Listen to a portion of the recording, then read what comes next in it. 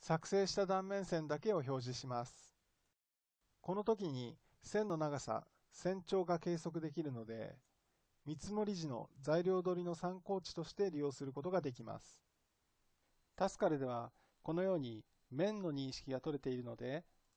面と面触るだけで角度を簡単に計測することができます。また、こういったフィレットの部分もワンクリックするだけで R を計測することができます。